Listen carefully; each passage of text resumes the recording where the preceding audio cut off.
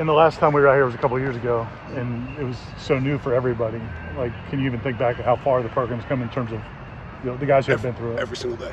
Um, just seeing now, you watch the guys who have been here for a couple years, and guys who may have struggled in year one, and you know, tour duty is a different thing. I don't care who you are, I don't care what level you are, anything else. It takes a year to kind of get your feet under you and mentally get your head wrapped around what tour duties are throw at you. And you see the guys, you see the growth, guys who maybe you saw struggle when you came out two years ago and watched. And you see those guys leading groups and excelling now because they've been in the program and not just being in better shape or anything else, but being mentally tougher, mentally stronger to be able to be those guys who are now ascended to those leadership type roles you have said it, but how important is it when it becomes player led? Obviously, first year it's coach led because everyone's next year is a little bit, but now you have the players teaching the younger players and their That's. Im- immeasurable. I mean, ultimately, you'd like your, your program to be coach fed and player led. You know, let us steer it the right direction. Let us provide coaching where it's appropriate when it comes to leadership and those types of things.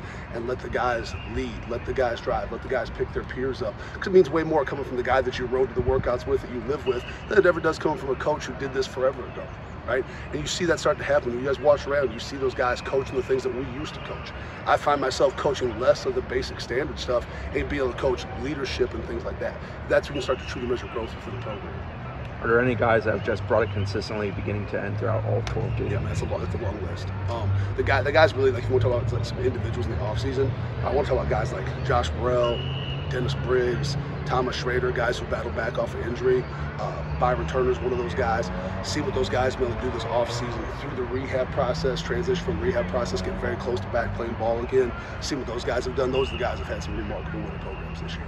Last year, you guys talked about guys like Jashaun Corbin, uh, Darius Washington, who had really good tour duties, and that translated over to the, the season. How transferable is tour duty typically to, to what you see on the field? It, it, it's, it's huge in the sense of this. Like anything you want to get better. Okay, so let's say a guy wants to be a better squatter. What's that take? It takes reps and it takes time.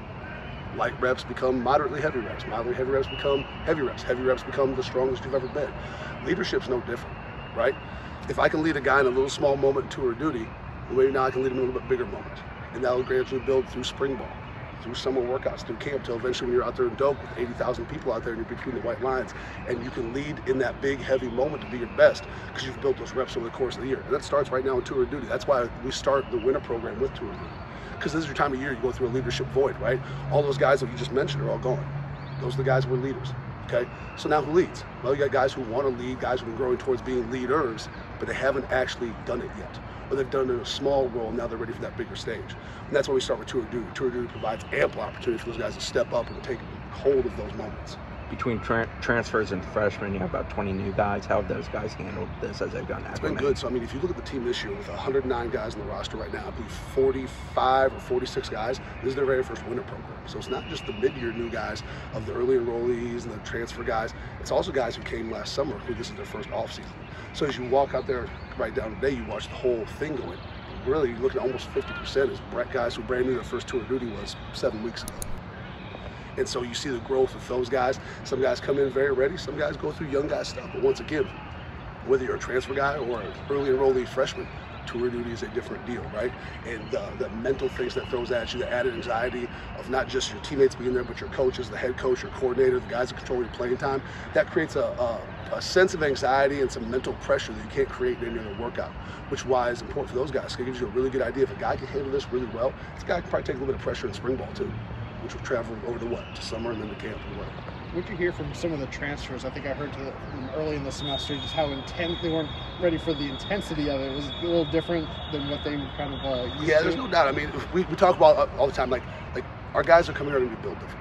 We're going to ask different things of our guys. I think the biggest thing that surprises them, it's not just that it's hard, it's the consistency of it. It's every day the Chiefs coming in waves, coming in waves, coming in waves. It's not like maybe the place you're at before, you had one or two of those really hard days throughout the winter time and everybody made a big deal about it. Here, when they come here, they realize it's Monday, it's Tuesday, it's Wednesday, it's Thursday, it's Friday. It's again next week, the next week, the next week. That's the biggest surprise to guys, but that's also where you see the progress is in that consistency. If there's one thing, one thing we teach these young men that come to the program is the importance of consistency, not just how you work, but how you show up to work every single day. How do you guys have? coaches. There you go. it. So you had a couple guys shift from off field to being on field coaches with you guys, but you've had a continuity in the staff Mhm. for the last season. How does that help you organize this whole program and you've got that continuity? It's huge. You got guys who've seen it before. You know, and you see with a couple of the, of the coaches that are new into the program, they're out there still kind of wide-eyed, seeing how the whole thing operates. You got some of us. I mean, this year, Coach and I have been together 10 years. Done a whole lot of tour duties. So, like, I'll, I'll try to, you know, grab those guys, help them get on top of their role, be great at that role, and then expand. You got some guys, then once again, are off field. We've seen it happen for a couple of years, who are now that guy that's up in the mix and whatnot. And that's a transition too, because it does it. It's, it moves fast. It's loud. There's a lot of moving parts. And so is practice.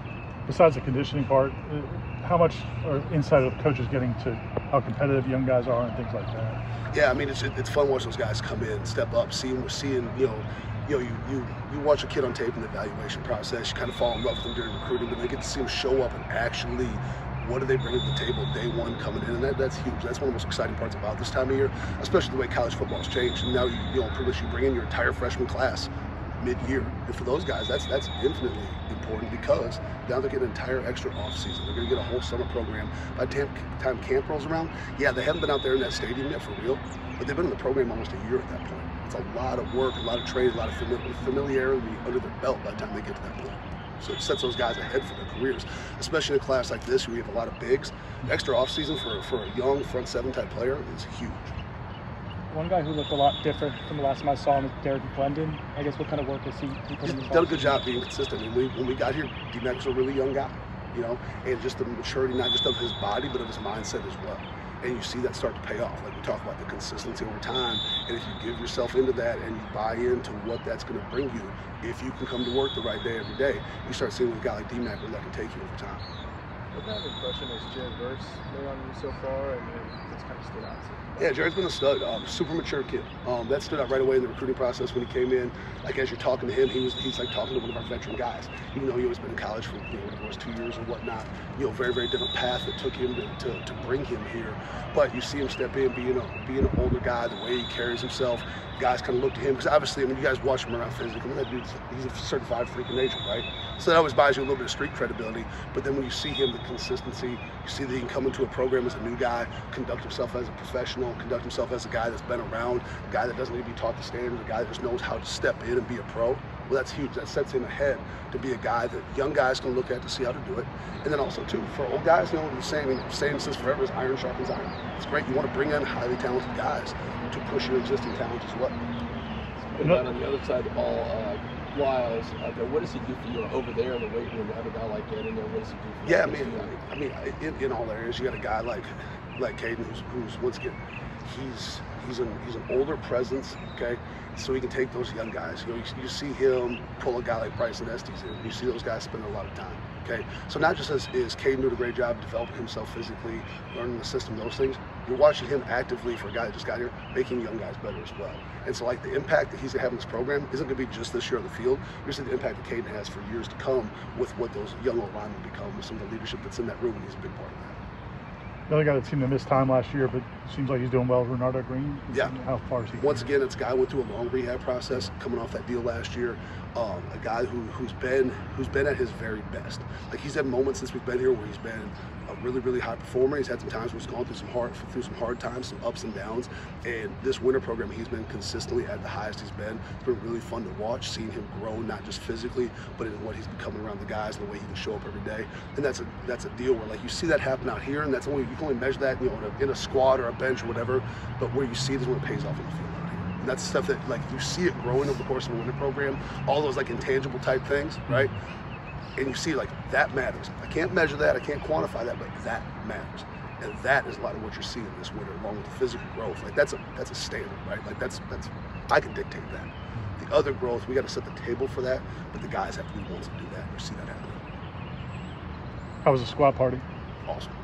It's it's hectic and it's a lot of stuff going on, loud, a lot of action. Um, a lot of guys. So I mean that environment's huge. You know, we talk about it all the time. Like, yeah, I mean it's just you under the bar, but like you got that environment, that room. You got your brothers around you to help you to help you lift that weight just from the the the moment and the environment, getting caught up in it, seeing guys perform, you see the competitive spirit come out. And that, that, that, that's a big deal for our program. Like you see guys, it's like one of the few days I allow phones and stuff in the weight room we're training.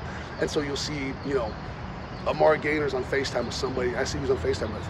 he's FaceTime with Jermaine because Jermaine wants to see what our guys are up to. You know, you see guys, you know, former players, former players want to check in. Guys texting me on Friday, want to know what time the squat party is starting. Guys are out training for the combine and stuff right now. And that's cool. It just goes to show you the impact that work can have on the program. It's not everything, but it's, it's it matters. Have you seen many receivers like Josh, Joshua Burrell with the squad? I mean, No, J- Josh is an elite squad. I mean, he truly, he truly is. I mean, look, you look at the way he's built. Um, the it takes it takes a mature mindset to be able to move weight like that. You can't just move weight like that with a a young, immature mindset. So like seeing that out of him, like that kid's got bright stuff, bright future to come, and he's one of those guys too that we haven't got to see a lot of yet. Kind of like a Byron Turner. You know, Byron Turner's got that hit a huge squad on Friday as well, but he was a guy that came in with a pre-existing deal that we had to get taken care of, and seeing him grow through this offseason as well. So there's gonna be some some some fun things that we set on this field that you guys haven't got a chance to really see very much of yet. talk about the squat party. I know this is the first full offseason with the renovated weight room. I guess how much of a difference does that make for mean, the the efficiency that brings to what we do is is huge. You know, I mean, the equipment that was there before, like it's fine. I mean, you can get strong on any rack, right? But I mean, at the end of the day, when you walk in there, like you got a room that feels like it's giving back to the kids, what the kids put in that room in the first place, right? And then just from an efficiency and safety standpoint, that's that's huge for us. You know, just with some of the some of the uh, unique things that Sorinex equipment brings to the room allows us to do some things differently than we've done in the past. You know, a little bit quicker, a little bit more efficient, a little bit safer, and obviously a far better looking space than what was in when we first here. Anything else? Is this the last kind of this kind of thing before spring practice starts, or is there? Yeah, so we'll uh, we'll, we'll still have a big training day tomorrow. Okay, we'll be back out here again on Thursday. Um, Thursday will be a little bit of a modified version of this as we're kind of getting ready for, for practice on Saturday. Uh, Friday will be kind of our last, kind of more of a recovery, mobility, kind of help these guys start getting their legs back under for Saturday, and we'll be off spring ball and we'll go Hey guys, this is Logan. Definitely appreciate you for watching the entire video. If you wouldn't mind, definitely hit that like button down below.